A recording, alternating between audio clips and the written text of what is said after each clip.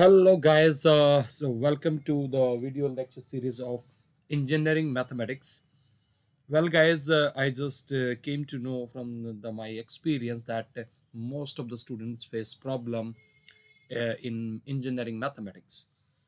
So uh, today I'm uh, recording the lecture for say differential calculus.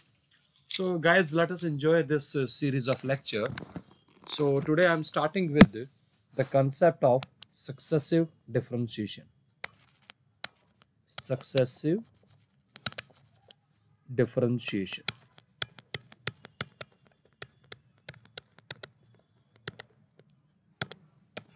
Guys, what is the meaning of successive differentiation? Its meaning is uh, finding the derivative of a given function in succession. Suppose if my function is say y is equal to fx be any function of x. Be any function of x. Then we know that its first derivative is dy by dx. Or we denote it by say y1 or we denote it by y dash. Or we denote it by f dash x or sometimes we denote it by d of y Here d is the operator that is nothing but d by dx. Guys, now as we are talking about is successive differentiation, so uh, we are just finding the derivative of the given function in succession. So now we define d2y over dx2. Its meaning is d by dx of dy by dx. And we denote it by further or say by y2 or y double dash or f double dash x. Or sometimes we denote it by d square of y. So try to understand this. Again, suppose if I find its derivative, that is d3 y over dx3 by same argument, it is nothing but your y3 or y double dash or d3 of y. If I continue this process, we reach to say any n derivative dxn we call it as yn or sometimes say this subscript super subscript or dn of y. So guys it is the notation. So either we'll use this notation or this notation or sometimes you will face this notation in the differential equations now we are going to generalize our idea of for some function. Suppose my first function is y equal to x to the power. Suppose I want to find its nth derivative. So y1 is n into x raised to power n minus 1. Now what is y2? It is n into n minus 1 x raised to power n minus 2. Then your y3 is n n minus 1 n minus 2 x raised to power n minus 3. Now by looking at this pattern guys, can we generalize this idea? My rth derivative, can you find? What is that? N n minus 1 n minus 2 Ma- now see most of the guys commit mistake it should be n minus r. They like this. But try to understand it. Look at this uh, subscript and this last bracket. This is n minus 2 this is one less than this subscript. So now let us make the correction here.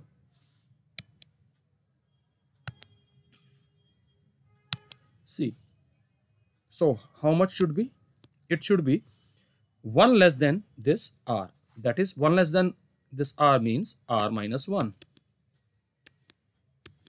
and x raised to power n minus r.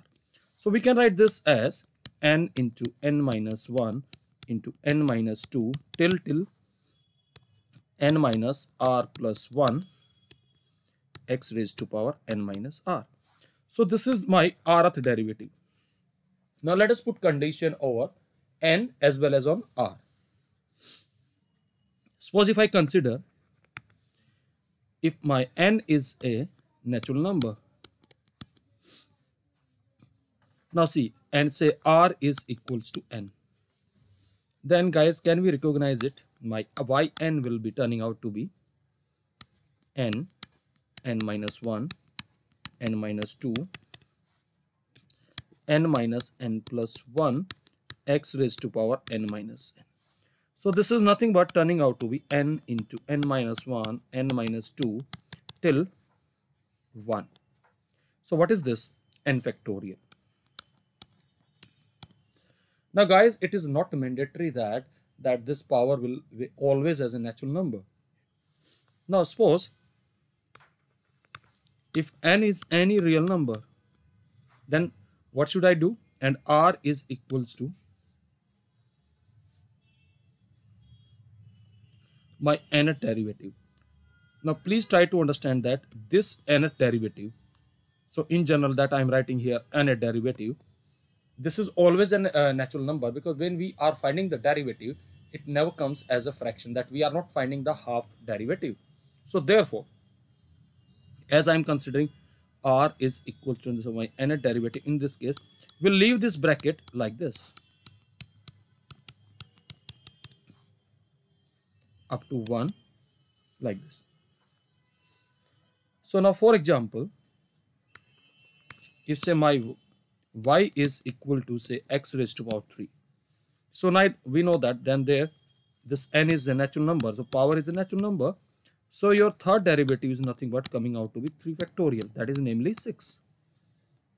But what about the case when y is root x? When y is root x, so we will write it something like this. My y1 is, we know that it is 1 over 2 root x.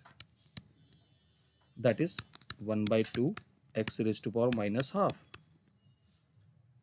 like this and when we are finding my second derivative it is 1 by 2 into minus half and x raised to power minus 3 by 2 now suppose since my rth derivative formula was n into n minus 1 into n minus 2 till till n minus r plus 1 x raised to power n minus r. Now here n is half. n is half.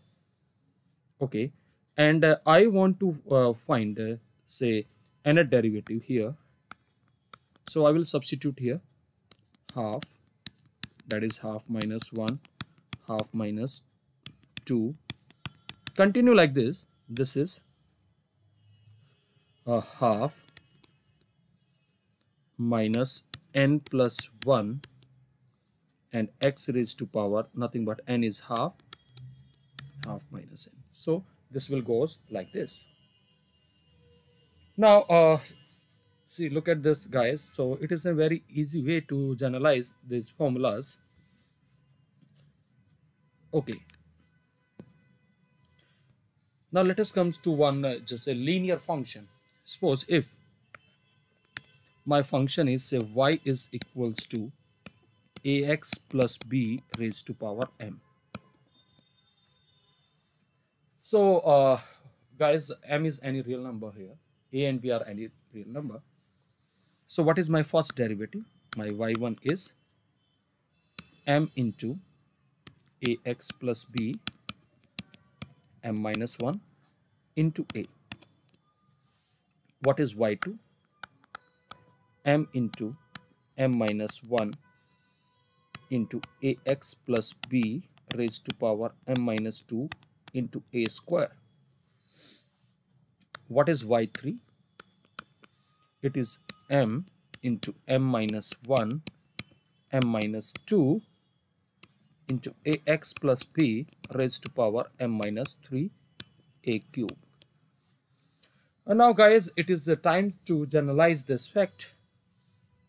Suppose if I continue like this, what is my nth derivative?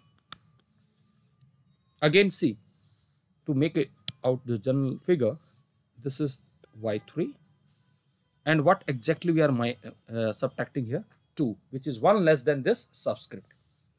So can we write this as m, m minus 1, m minus 2,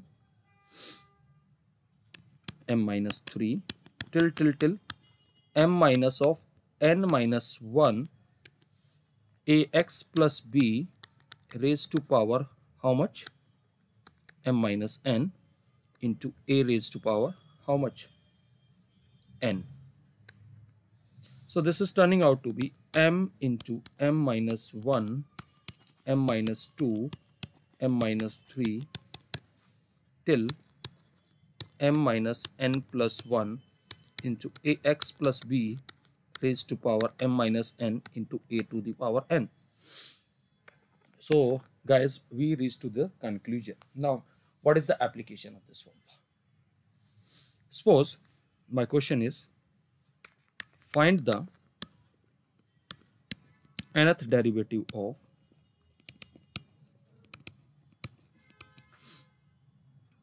y is equal to log x plus 1. Now see how to find it. Let us find its first derivative. What is y1? It is 1 over x plus 1. Can we write this as x plus 1 raised to power minus 1? Now guys, to get nth derivative, how many times we need to differentiate it? We need to differentiate it n minus 1 times more. So my yn in this case we can write dn minus 1 over dxn minus 1 of what? Dy by dx. Now guys we have studied the formula for ax plus b raised to power m and we have studied the formula for nth derivative something like this. m m minus 1 m minus 2 m minus n plus 1 and ax plus b raised to power. Now suppose if I want to write for the n minus 1th derivative, so what I need to do? It is turning out to be m, m minus 1, m minus 2 and then what I will do here? Now See, I will write here m minus of what? n minus 2 and ax plus b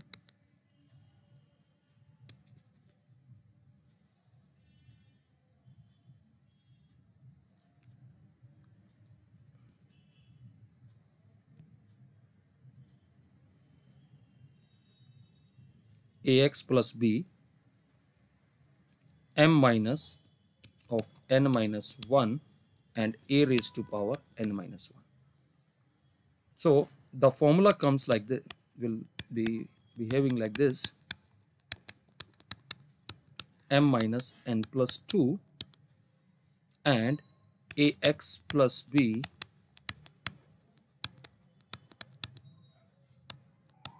now let us use this now my expression is this. So here m is minus 1. m is minus 1. So what I will do here, my nth derivative will be minus 1 into minus 2 into minus 3. So here what I will, I'm just substituting in place of m, I'm substituting minus 1 till minus 1 minus n plus 2 and what is ax plus b that is x plus 1 now my m is in this case is minus 1 minus n plus 1 that's it and a is 1 now see guys can we write this as minus 1 minus 2 minus 3 now this is nothing but minus n plus 1 if i take minus sign outside it is n minus 1 raised to power minus n. Now this uh, minus sign is multiplied how many times n minus 1 times it is turning out to 1 into 2 into 3 into n minus 1 over x plus 1 raised to power n. It is coming out to be this way. Now this if this n now this is 1 into 2 into 3 into n minus 1 now we can write this as nothing but finally minus 1 raised to power n minus 1 this is n minus 1 factorial over x plus 1 raised to power n. So this is the nth derivative of log x plus 1. So this is the application of the formula that we have done guys. Now the next comes uh, suppose we have the form uh, expression y is equal to sine ax plus b. Suppose we want to find its nth derivative. What is the first derivative? This is cosine of ax plus b into a.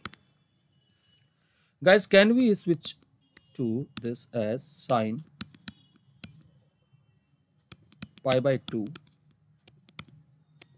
into ax plus b? Yes, because sine 90 plus theta is cos theta. Now, again differentiating it, we will get a square into cos pi by 2 plus ax plus b. Now my next question is, can we write this as, try to understand it, a square sine of pi by 2 plus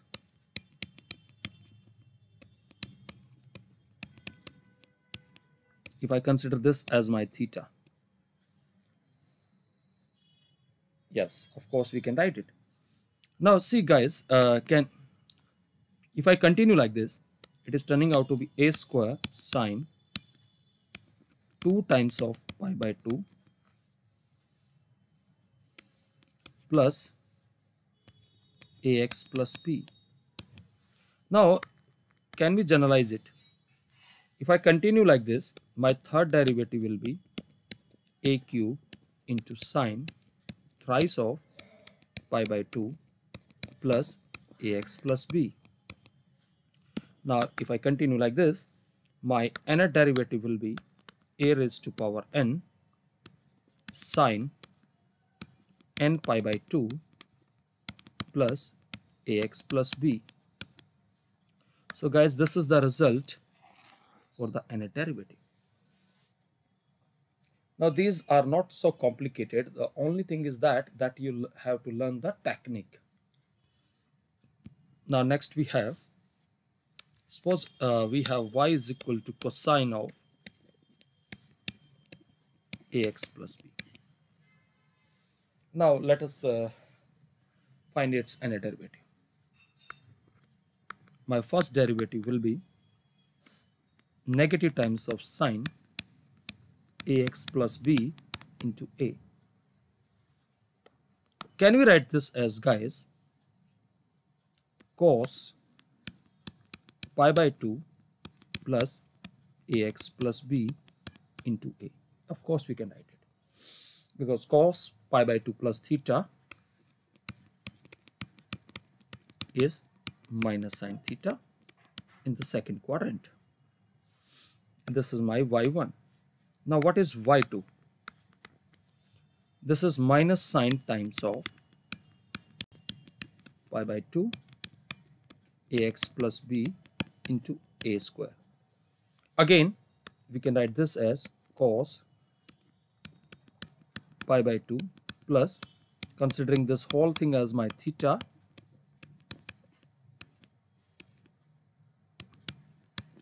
now we can write this as further. Cos 2 pi by 2 plus ax plus b into a square. This is my y2 now guys we can generalize this. My y3 will be cosine of thrice of times of pi by 2 plus ax plus b into a square. Now if I continue like this my nth derivative will be cos n pi by 2 plus ax plus b into a raised to power n. So that's the way to guys generalize it. Now I'm doing one application. So guys in my next video I will be uh, just solving the problems part. So in the first video I'm just deriving the expressions for you people. So this is the formula. So I'm giving you one application just right now. Suppose the question is find the nth derivative of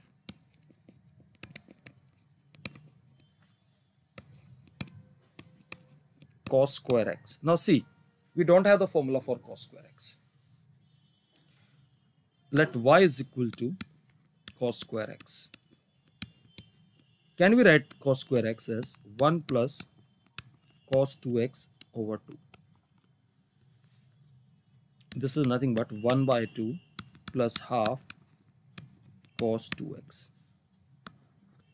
Now guys, uh, we know that if I start differentiating it and uh, just compare with this cos ax plus b. a is 2, a is 2. Okay. And b is 0. And you know the formula for this. This is nothing but cos n pi by 2 plus ax plus b. Now my nth derivative, because this half is constant, this is 0. This is half times of, and so sorry, here a raised to power n is also there. 2 raised to power n into cosine of 2x plus n pi by 2. That is the answer guys. This is 2 raised to power n minus 1 cosine of 2x plus n pi by 2. I hope uh, it's an easy way to deal with this type of problems. Now we have the last formula. Suppose we have y is equals to e raised to power ax into cos bx. Now guys, let us uh, generalize this idea. Uh, my y1 will be let us apply product rule. A into e raised to power ax cos bx.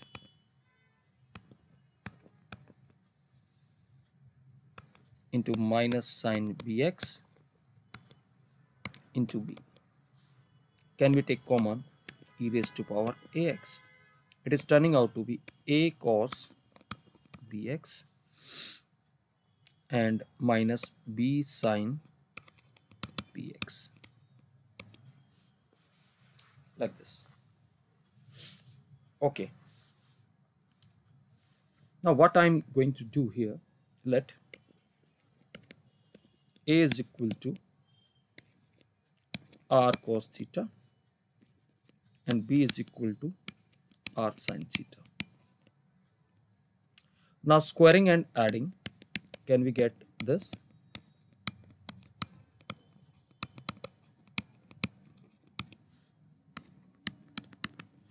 is equals to r square and if I divide it my tan theta will be equals to b over a and theta is tan inverse b over a. Now let us make these substitution guys. So my y1 will become e raised to power ax r cos theta cos bx minus r sine theta sine bx. We can take r common. It is turning out to be cos theta cos bx minus sine theta sine bx. Now, can you recognize this identity? It is an identity for cos A plus B. Cos A plus B is cos A cos B minus sine A sine B. So this is nothing but uh, cos bx plus theta. This is my y1. Now guys, if I proceed in the same fashion, my y2 turning out to be r a into e raised to power ax cos bx plus theta minus b sine bx plus theta into e raised to power ax. Again, if I take common, it is turning out to be a cos bx plus theta minus b sine bx plus theta. Now, uh, what exactly is a and b? We better know that we already substituted. My a is r cos theta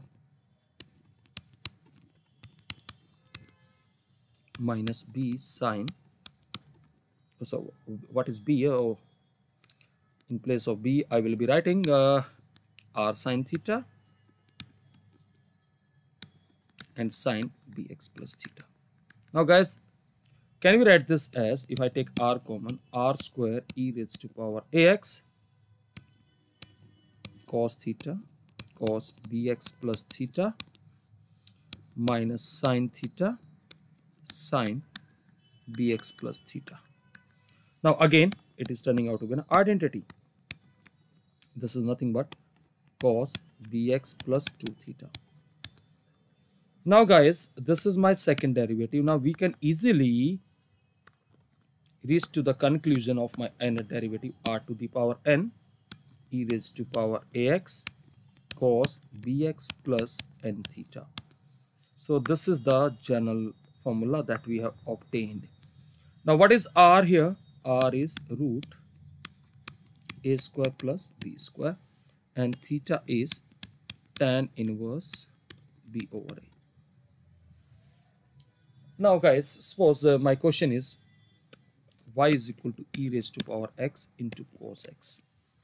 Now just first of all let us compare what is a, a is 1, b is 1, so my r is root 2 my theta is tan inverse 1 that is nothing but pi by 4 so we can easily get my n derivative as that is root 2 raised to power n e raised to power x cos x plus n pi by 4 that is the result guys. Uh, guys uh, i'm just leaving an assignment for you people. Suppose my question is e raised to power ax into sine bx. Uh, the final result will be it is uh, r to the power n e to the power ax into sine bx plus n theta. This can be also done in the similar fashion and r is nothing but root a square plus b square and theta is tan inverse b by a i hope uh, guys uh, uh, you like this video. Uh, i just given all the detail that how this formula came into the existence. It is very easy to uh, understand these formulas that how they came into the existence. So uh, see you guys. So we'll meet in the next video. In the next video we'll be doing the application of these formulas that how to apply these formulas to the various problem part. So till then bye everyone